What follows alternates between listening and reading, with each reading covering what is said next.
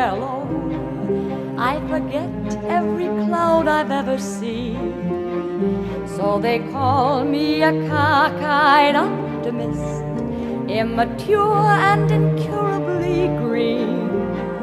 I have heard people rant and rave and bellow that we're done and we might as well be dead. But I'm only a cockeyed optimist, and I can't get it into my head.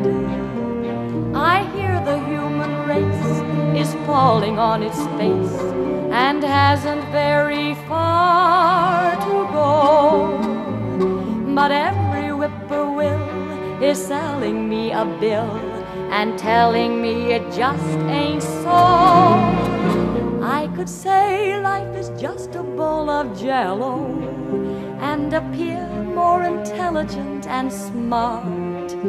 But I'm stuck like a dope with a thing called hope, and